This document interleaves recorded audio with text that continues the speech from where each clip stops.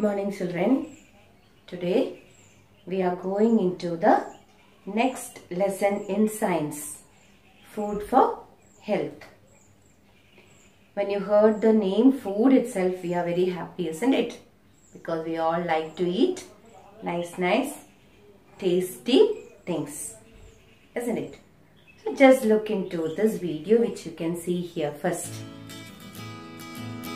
What are the things you can see in this video?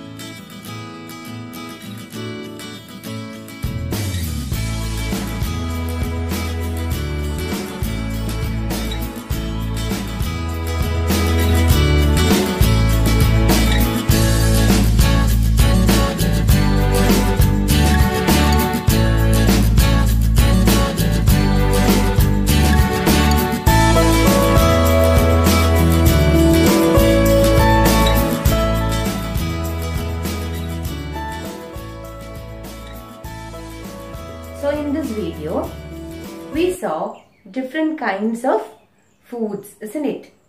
Food that we eat. Shall I ask you a question? Why do we eat food? Why do we eat food?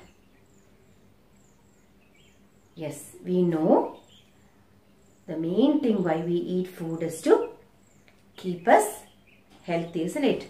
Food is the basic need of a organism. So for human being, it is a basic need. Without food, we will die. We cannot stay alive for many days without food. So food is very, very essential for us. And tasty food we have because we like certain types of food, isn't it? So we eat food for life. Do we eat food only for life? What is the need of eating food? Yes, if we need a good life, we have to stay healthy. So, food helps us to be healthy. Good food helps us to stay healthy, isn't it? So, in today's lesson, we are going to learn about food. So what is the meaning of healthy food? Healthy food is not all the food what you saw in the video which you can eat. Okay. Once in a way eating different types of food is good. But always the food what we eat should be healthy. So in food, the food is classified into different categories that is the food contains different nutrients. So a healthy food means a food which contains all the nutrients and minerals in the needed quantity. That is called as a balanced diet we know isn't it? So which are the nutrients which are present in the food we eat? We are going to learn in detail about the different nutrients which are present in the food and how it helps our body. How it helps us to stay healthy. So the first nutrient what we are going to learn is carbohydrate. I hope you have, uh, you know what is carbohydrate. Look into this picture. This is a picture from the textbook which you have. We can see different things there, isn't it? Paddy is there, a packet of oil is there, then fish is there, and fruits and vegetables are also there. What are the different nutrients present in them? Yes, we know in rice, paddy contains carbohydrate, then in oil it contains fat, Fish and meat, egg contains proteins. Fruits and vegetables contains all the minerals and vitamins. So these are the things, these are the different nutrients which are present inside the food we eat. So now today we are going to learn what is carbohydrate and how can we know the presence of carbohydrate in the food we eat. So what is carbohydrate? Carbohydrate is something which is present in the food we eat. How does this carbohydrate come inside the plants? Food means the main food giving organism is plants, isn't it? All the animals depend on plants for their food. We know that. So how does the plants get this carbohydrate? Do you know? In the previous class in 5th standard, you would have learned about photosynthesis. And in the previous science lesson also, teacher has explained little bit of photosynthesis, isn't it? During photosynthesis, what happens? What is the process of photosynthesis? The plants prepare food in the presence of sunlight, isn't it? So what does the plants do? It absorbs sunlight. It absorbs the water and minerals from the soil, isn't it? And with the help of chlorophyll, it prepares food and it gives out oxygen, isn't it? It produces oxygen plus glucose. It produces oxygen plus glucose. So during photosynthesis, in the presence of sunlight, it takes in carbon dioxide, it takes the water and minerals from the soil and with the help of chlorophyll, it prepares food and it produces something. So it produces oxygen and glucose. So what happens to the oxygen? Oxygen is left out through the pores, through the stomata, it is left out into the air. And it stores the glucose which is produced in different parts of the plant in the form of starch. In the form of starch. So it is producing glucose. Glucose is another form of starch. So it uh, stores this starch in different parts of the plant. It can be in the leaf, it can be in the stem, it can be in the root. And that starch is used by us to eat. That starch contains carbohydrate. So what is the carb what is carbohydrate? Carbohydrate is carbon plus oxygen plus hydrogen. Carbohydrate. So what is carbohydrate? Carbohydrate is a combination of carbon, hydrogen, oxygen. So we know that the plant is taking in carbon dioxide, isn't it? And in the presence of, with the help of minerals and salts and water and carbon dioxide, it produces food. So the glucose or the starch which is stored inside the different parts of the plant contains carbohydrate. What is carbohydrate? It is a mixture of carbon, hydrogen and oxygen. So this much did you understand? Now why is carbohydrate needed for us? We all know that we do different types of physical activities. In your text they have used the word physiological activities. What are these physiological activities that we do every day? Look into this video. You can do the see the different physiological activities that we do every day.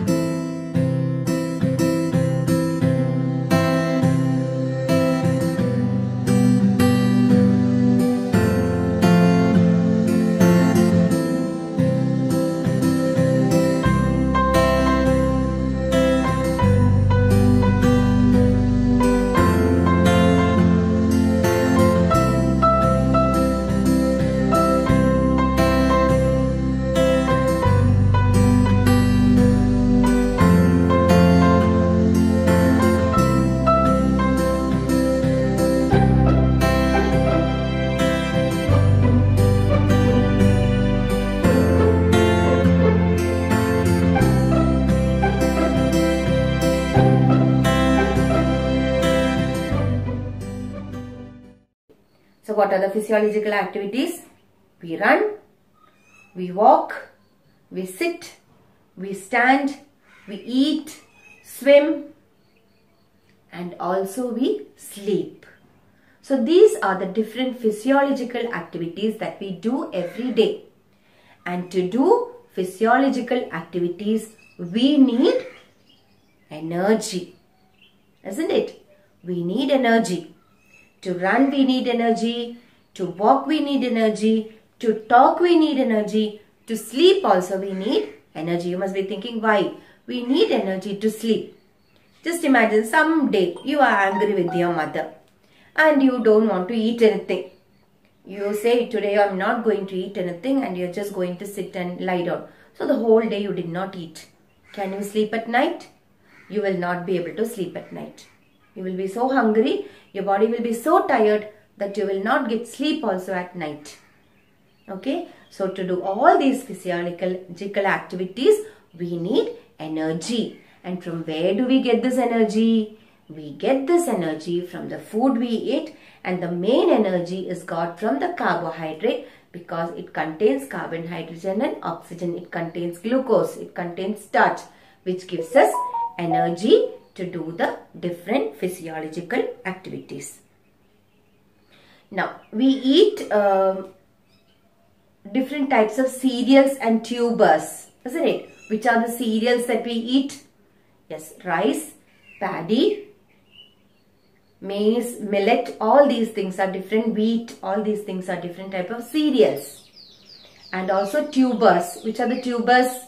We know tapioca, potato, all these are underground things what we get, isn't it? So all these contains lot of carbohydrate. That is why carbohydrate is the main meal of the day. Isn't it? What is the main meal of the day what we eat? We eat a lot of carbohydrate in the form of rice, morning in the form of breakfast, different types of breakfast things what we make contains lot of carbohydrates. So carbohydrates are present in the morning breakfast such as idli, dosha that is that is made out of rice. So carbohydrates are present in large quantity in cereals and tubers. Okay. So the carbohydrate is the main food what we eat. Why do we eat a lot of carbohydrate? Because it gives us energy to do all the different activities of the day. Now we are going to do a small test. Okay. To see the presence of carbohydrate. We are going to do a carbohydrate test. It's an experiment which is given in our textbook. How can we detect the presence of starch? I told you glucose is stored as starch and starch contains carbohydrate. So the food we eat contains starch. So how do we know that the food contains starch? For that we are going to do an experiment. For that we need a little bit of iodine. You know that iodine is a thing which we can use this iodine solution. Uh, when you uh, fall down and break your hand in school, uh, teacher puts and gives you a red color solution, isn't it? And also you have this iodine providing uh, tube at home. When you fall down, when you cut a cut, you put this. So all these contains iodine. So this is uh, the real iodine I did not get because I'm at home. I have bought this tincture iodine from the medical shop. So if you go to the medical shop, you can get this tincture iodine. It is very, uh, it is not much costly. It's only 20 rupees. So if you want to do this iodine test from home, in the presence of your parents, you can buy this iodine from the medical shop.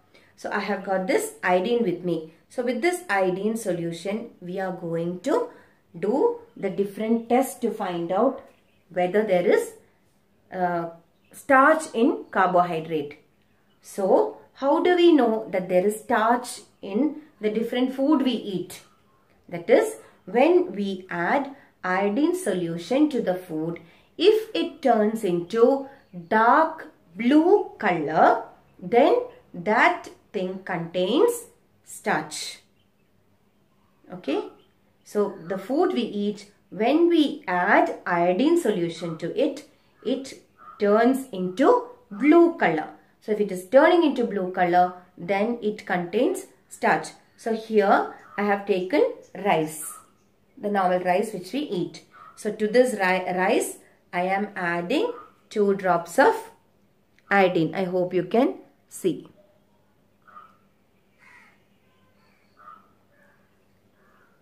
Can you see?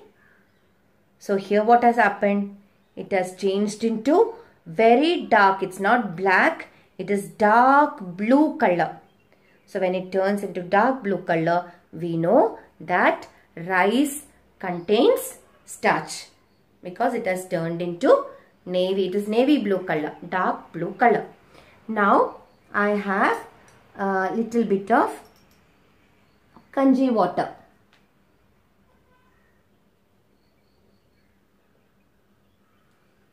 So I'm taking kanji water here in a test tube and I'm adding iodine to it.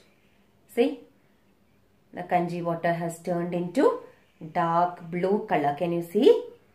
So that means the kanji water, okay, the gruel water, kanji water contains starch. So this also you have seen. Now I am taking another thing. We said, so rice comes under cereals Okay, rice comes under cereal. Now I am taking potato. Potato come under tubers, isn't it? Potato I have taken and I am adding a drop of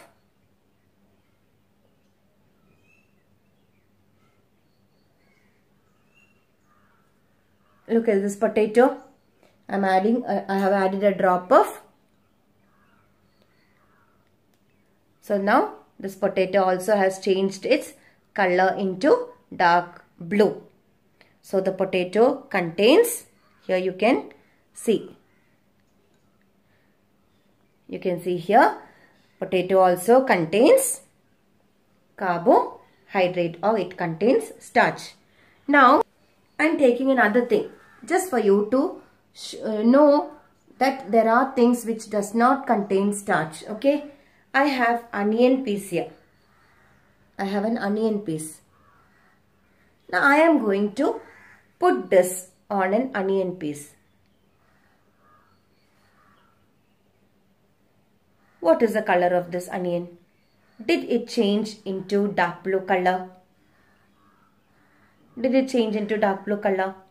No, isn't it? Why doesn't it change into dark blue color? Yes, that is because onion does not contain carbohydrate or it does not contain starch. Okay, so this is a very small experiment which I showed you. You have to write this experiment down in your notebook. But before writing, if you can do this test at home using the thing which I told you. Either you can buy this tincture iodine from the medical shop. Please don't trouble your parents. If they buy and give you, you do. Or else you can do that ointment which you keep for your uh, when you break your leg or when you get a scratch you keep an ointment providine providon providine iodine it is called. A tube you will get. You can use the tube to do this test.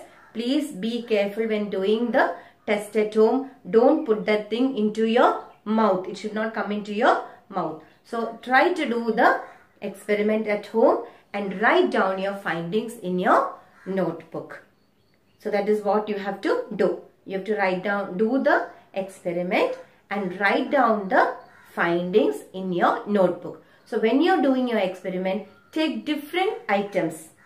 So I have given you a table. There's a table in the textbook. Look into this table. In that table, you can write down. You can take different other things. Not only rice or kanji water. You can take different vegetables. Do the iodine test. Find out if it contains carbohydrates and complete the table.